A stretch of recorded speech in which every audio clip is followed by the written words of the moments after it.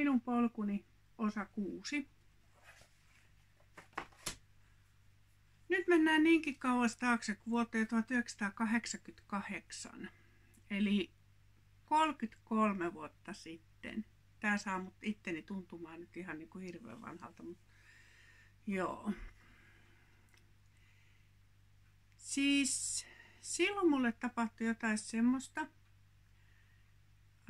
yllättäen, mikä tota, sai mut uskomaan, että me ollaan oltu täällä ennenkin. Eli näihin menneisiin elämiin, koska mä en ole mitään muuta vaihtoehtoa keksinyt tälle asialle. Tai no toinen teoria, mikä on siinä, että se säilyisi niin kuin, äh, geenimuistissa, eli tulisi jostain esi-isiltä, isovanhemmilta jostakin, että se kulkisi siellä ihmisen niin kuin DNAssa nämä jutut, niin kuin solumuistissa. Mutta mä uskon ehkä enempi tähän menneet elämät asiaa. Ja 88 silloin syksyllä mä oon ollut 21, melkein 22-vuotias. Ja mulla tuli, mä olin yhden kerran aikaisemmin käynyt niin kuin ulkomailla lentokoneella. Ja mulla oli semmoinen ollut jo pitemmän aikaa semmoinen vahva tunne, että mun on pakko päästä Lontooseen. Siis ihan pakko. No mä en saanut ketään kaveria sitten matkalle.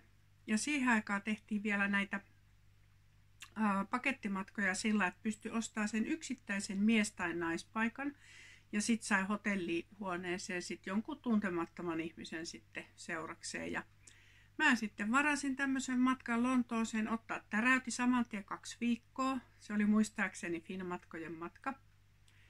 Ja sinne mä sitten läksin ja en ollut koskaan aikaisemmin käynyt missään siis suurkaupungissa, todella suurkaupungissa. Helsinkiä ja nyt lasken tähän kategoriaan, millainen se oli vuonna 1988. Niin tota, mä menin sinne, sinne tota, se oli illalla pimeätä myöhään, kun me mentiin sinne hotelliin. Ja tutustuin siinä sitten mun huonekaveriin, joka oli tosi kiva, tämmönen joku Virpi, joka oli siellä niinku jollain opiskelureissulla. Ja hän oli päivät sitten näissä opiskelujutuissa ja illat me sitten liikuttiin siellä yhdessä ja käytiin syömässä ja pupissa ja tälleen. Mutta päivät mä sitten kuulin siellä itekseni ja silloin ensimmäisenä aamuna sitten Virpi hävisi sinne omiin menoihinsa, mihin häviskää. Ja minäpä otin sitten Lontoon kartan ja päätin lähteä sitten vaan kävelemään. En uskaltanut silloin mennä metroon vielä edes muutamaa päivää, vaan kävelin. Ja läksin siitä hotellilta, se oli siellä Basewaterin alueella, missä on valtavasti näitä turisteille näitä hotelleja siinä Basewater ja Paddingtonin alueella. Ja läksin siitä sitten kävelemään sinne niin, sinne niin sanottu ydinkeskustaa päin, eli sinne Oxford Streetille ja sinne suuntaan. Ja kaunis aamu oli silloin ja aurinkopaisto ja se oli, mm, se oli mun mielestä se oli loppukesä tai alkusyksy, se ajankohta. Ja mä kävelin siellä ja kävelin ja kävelin ja se koko aika muuttui niin kuin oudommaksi ja oudommaksi mun olotila siinä kävellessä. Ja mä olin kävellyt ehkä, en varmaan vielä ehkä puoli tuntia tai jonkun sellaisen. Kun mä yksi, kaksi tajusin, mä melkein rupesin itkemään, kun mä tajusin sen, että herra että mä oon tullut kotiin. Siis, että nyt mä oon kotona. Ja kun mä kävelin sen ensimmäisen päivän siellä. Se tunne niin kuin voimistui ja vahvistui koko ajan. Mä oon ollut täällä ennenkin, enkä vaan niin kuin piipahtamassa. Ja se, niin kuin, se valtava se, niin kuin se, se kodin tunne, että mä en ole koskaan missään tuntenut samanlaista tunnetta kuin Lontoossa, että minä olen kotona. Siis mä oon ollut nuoresta asti hyvin semmoinen niin kuin siinä mielessä brittiläinen, että mä tykkään teestä enempi kuin kahvista. Mulle tuli saunaa yhtään ikävä, jos mä saisin ihanan ammeen. Mä tykkään brittihuumorista. Siis näitä on vaikka kuin paljon näitä tämmöisiä, että mä oon vähän niin kuin, niin kuin anglomaani. onkohan se oikea sana, on kai. Ja silloin 88 se oli niinku, mä en ollut silloin koskaan aikaisemmin ajatellut mitään niinku tämmöisiä henkisiä asioita, enkä, enkä mitään semmoisia. Ja se oli mulle niinku, siis se, se oli niinku todella vaikuttava kokemus se, että mä olen kotona. Vihdoinkin mä olen löytänyt kotiin. Ja mä olin sen kaksi viikkoa, kun mä kävelin siellä Lontoossa. Siis mä olin valtavan onnellinen. Siis mä, mä olin niinku ihan semmoisessa euforiassa siellä. Ja sen jälkeen mä oon käynyt Lontoossa, kävin monta kertaa. Yhteensä on ollut siellä lomalla seitsemän kertaa. Nyt en ole ollut moni moni vuosi. Enkä mä tiedä, kun mä menen sinne seuraavan kerran, mitä mä oon nähnyt elokuvista ja muualta, kun on pilannut sen ihanan matalan kaupungin. Sinne on tullut niitä järkyttävän rumia, hyi, lasi, hökötys, yäk, inhottavia niin sanottuja pilvenpiirtäjiä, mikä toinen toistaa kamalamman näköisiä virityksiä. Niin, en mä tiedä. Kyllä mä vielä Lontooseen haluan, mutta voisi olla aikamoinen sokki sitten nähdä se muutos, mikä siellä on tapahtunut nyt siinä aikana, kun mä en ole siellä tosiaan käynyt mm, varmaan kohta 14-15 vuoteen kuitenkaan. Ja sitten tota, tämä Lontoon juttu siinäkin mielessä, että sit kun mä oon käynyt jossain muissakin suurissa kaupungeissa, niin Lontoossa mä pystyn suunnistamaan, siis vaikka onhan mulla aina tietysti ollut karttakin, mutta mä pystyn suunnistamaan siellä niinku käsittämättömän hyvin. Että jos mut olisi laitettu silloin siihen aikaan mihin tahansa kaupunkiin, vaikka Helsinkiin, koska kun Helsingissä on kuitenkin kaikki niin kuin suomeksi ja suomalaista touhua, kartta kourassa keskelle kaupunkia, niin mä väitän, että Lontoossa mä olisin löytänyt jonkun, jos mulla olisi annettu joku kohde, että mene tonne, niin mä olisin löytänyt sen varmasti niin kuin ihan paljon nopeammin kuin mistään muusta kaupungista. Ja Sohossa esimerkiksi siellä pikkukujilla kerran käveltiin ja me oltiin menossa musikaaliin Phantom of the Operaa katsomaan ja meitä oli neljä naista silloin reissussa ja me siellä pimeällä kujilla, kujilla harhailtiin sitten, kun me oltiin käyty syömässä kiinalaisessa siellä Rupert Streetillä ja ajateltiin, että oikastaa sitten sieltä niin kuin nopeampaa reittiä ja ettei lähdetä sinne isoille kaduille kävelle, että mennäänkin suoraan. No sitten me käveltiin siellä, siellä ja kaksi heistä rupesi jo vähän epäilemään, että hei, että et, kerätäänkö me ajoissa sinne musiikkaan, että missä hitossa me ollaan. Ja sitten yksi mun vanha ystäväni sanoi luottavaisin mielin, että tulkaa perässä vaan, se tietää kyllä mihin se on menossa.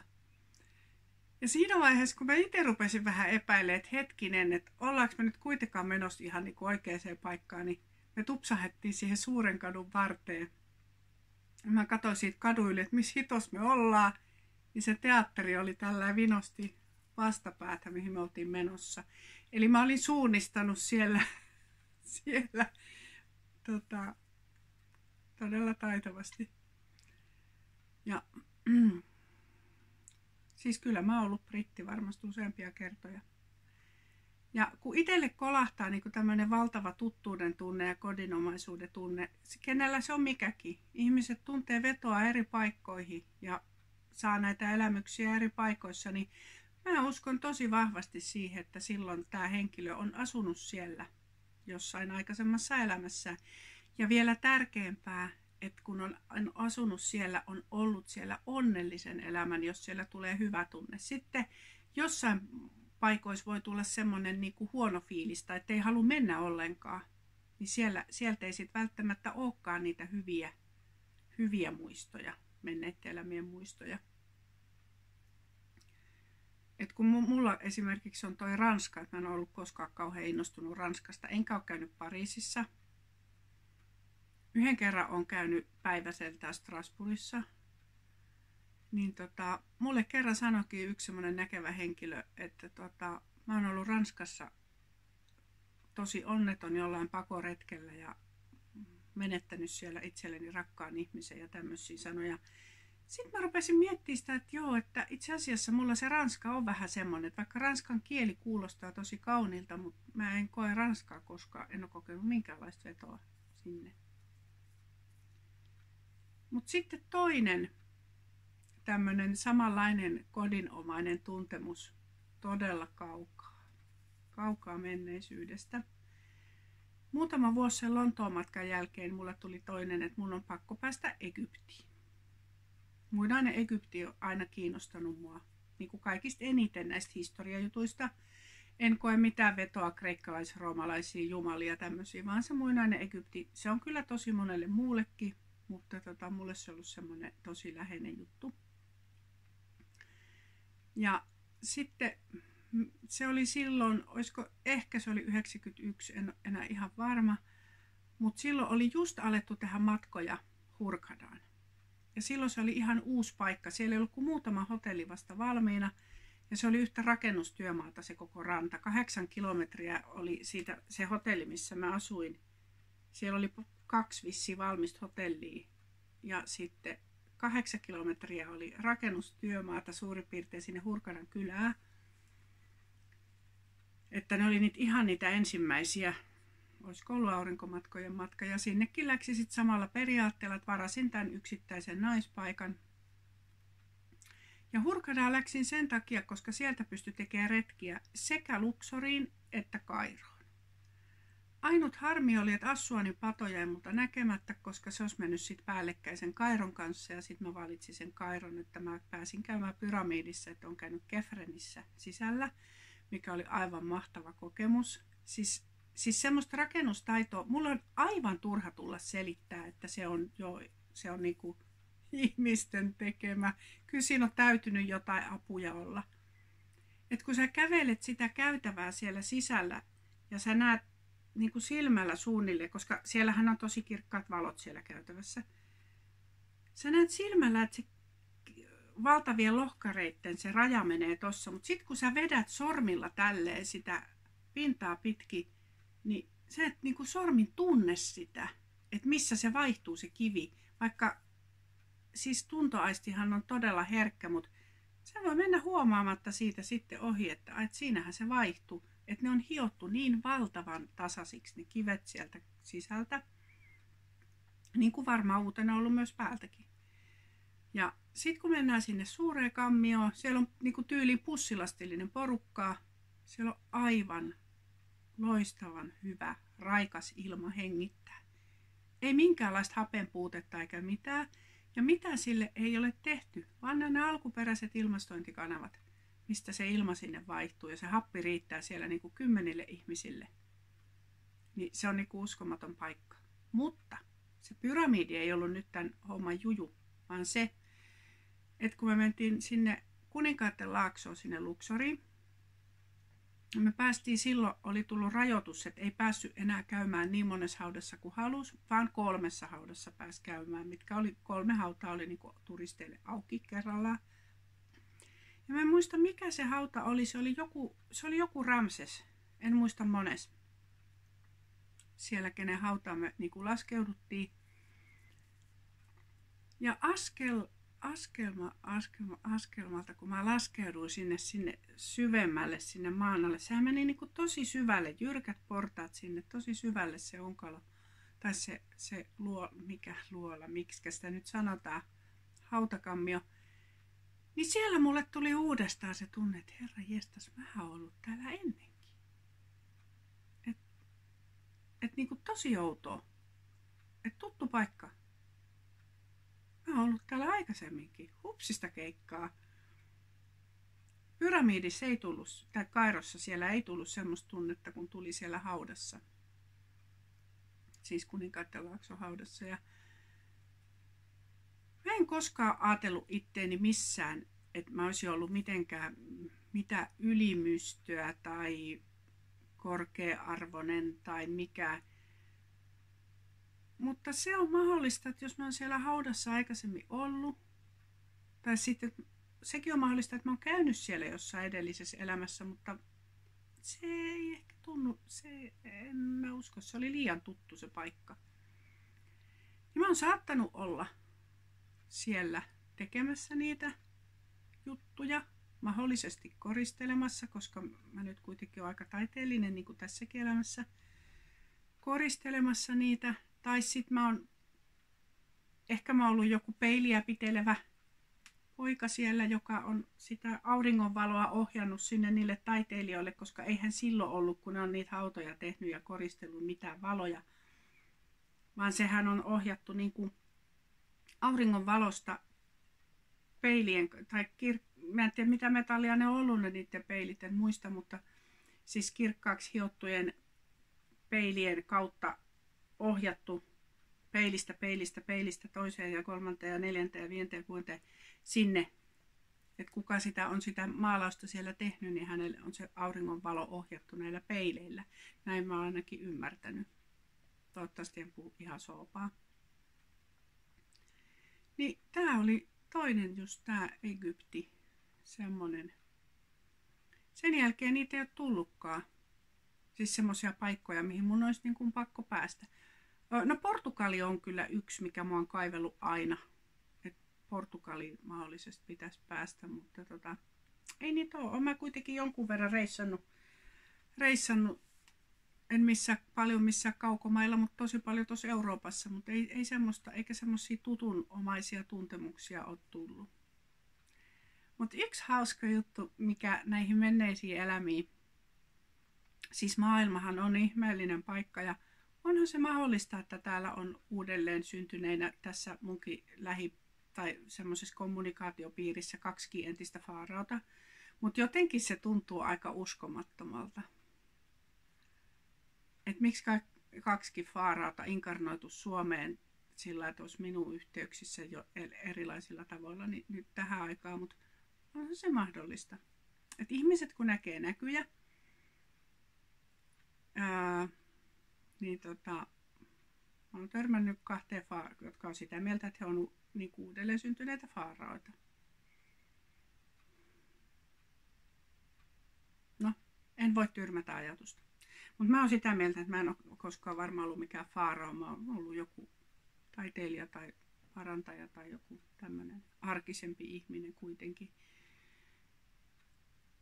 Ja nyt tuli mieleen Lontoosta yksi hauska juttu kun tota, mm, mä en muista monessa matkassa sinne oli. Meitä oli sielläkin neljä naista siellä matkalla sitten. Ja me vahingossa osuttiin semmoiseen johonkin tilaisuuteen, mistä johonkin paikkaan sieltä kuului aivan ihanaa semmoista vanha-aikaista musiikkia. Ja siellä oli menossa joku tämmöinen esitys, missä ne tanssi nämä ihmiset, henkilöt, heitä oli 80 tai 12, en muista määrää, mutta pariskuntia kuitenkin. He tanssivat tämmöisiä vanhoja tansseja. Oliko jotain poloneesia tai jotain, en tiedä, mutta kuitenkin niitä semmoisia tämmöisiä, missä oli hirmu tarkat ne askelkuviot ja miehet teki näin ja kaikkea hyvinkin säännönmukaista touhua. He tanssi siellä ja siellä oli ihmisiä katsomassa ja me mentiin sitten kanssa katsomaan semmoiselle parvekkeelle sit niitä tansseja ja nautittiin niistä siis kaunista, ihanista puvuista ja miehillä oli semmoiset, mitä aikaa he olisivat, jotain varmaan 1800-luvun juttuja ne oli se esitys ja siinä sitten tota, yksi meistä sanoi, että niin kuin moni aina ajatteli, että olisipa ollut ihana elää tuossa ajassa, että kun katsoo noita tansseja. Niin mä sitten sanoin hänelle, että niin, että, tai meille kaikille totesin vaan, että, että jos otetaan nyt huomioon tämä meidän yhteiskunnallinen asema, mikä meillä on tässä elämässä, niin ei me tanssittaisi tuolla. Me oltaisiin todennäköisesti keittiössä kuorimassa niitä potatteja, että he, herrasväki pääsisi syömään sitten tanssin jälkeen. siis onhan se mahdollista, että ollaan eletty hienommissakin piireissä, mutta mutta mä koen aina semmoista tuttuuden tunnetta tämmöisiä upstairs, downstairs, näihin, näihin nimenomaan tänne alakerran väkeä. Ai niin, vielä, nyt on pakko kertoa vielä yksi juttu. Kun, ää, olisiko se ollut toinen Lontoon matka tai kolmas, koska silloin mä olin kahdestaan mun vanhemman vanhemman ystävän kanssa kahdella matkalla. Ja tota, mm, meillä oli semmoinen tosi halpa rupuhotelli silloin nuorena me raskettu laittaa rahaa hotelliin. Ja me mentiin sitten ensimmäisenä aamuna sinne aamupalalle sinne alakertaa. Se oli siellä kellarissa oli tämä aamiaishuone.